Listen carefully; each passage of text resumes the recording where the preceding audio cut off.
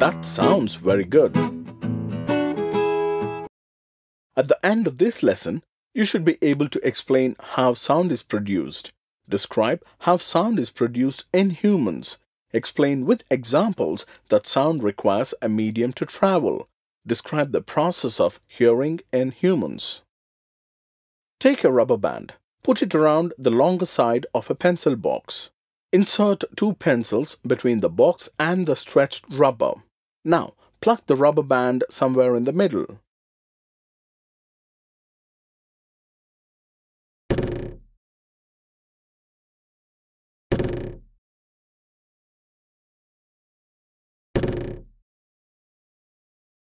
Do you hear any sound? And what do you observe about the rubber band? Recall that the to and fro or back and forth motion of an object is termed as vibration.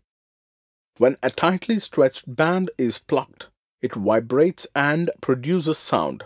When it stops vibrating, it does not produce any sound. That is the case with musical instruments. Can you identify the vibrating part used to produce sound in these instruments? Guitar, veena, stretched string, tabla, stretched membrane, flute, air column, mouth organ, air column, drum, stretched membrane, jal tarang, vibrating glass, piano, strings.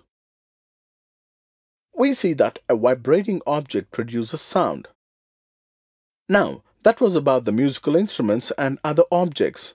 How is sound produced in humans? In humans, the sound is produced by the voice box or the larynx. Put your fingers on the throat and find a hard bump that seems to move when you swallow. This part of the body is known as the voice box.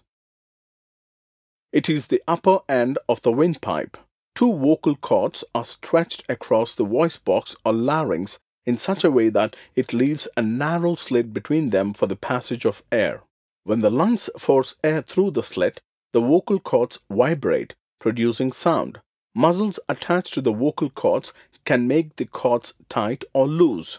When the vocal cords are tight and thin, the type of quality of voice is different from that when they are loose and thick. Let us see how the vocal cords function. The vocal cords in men are about 20 millimeters long. In women, these are about 5 millimeters shorter. Children have very short vocal cords. This is the reason why the voices of men, women and children are different. Take a glass tumbler. Make sure that it is dry. Place a cell phone in it. Ask your friend to give a ring on his cell phone from another cell phone. Listen to the ring carefully.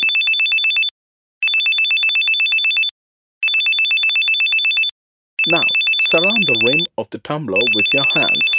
Put your mouth on the opening between your hands. Indicate to your friend to give a ring again.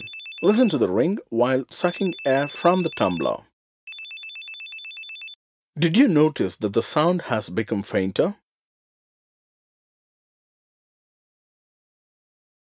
Indeed, if you had been able to suck all the air in the tumbler, the sound would stop completely.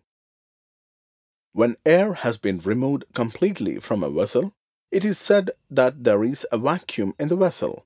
The sound cannot travel through vacuum. So far, we saw how sound can be produced. Now, let us see how we hear the sound through our ears.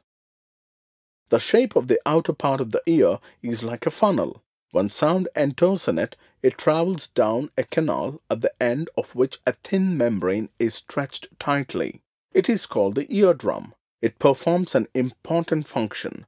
The eardrum is like a stretched rubber sheet. Sound vibrations make the eardrum vibrate. The eardrum sends vibrations to the inner ear. From there, the signal goes to the brain. This is how we hear.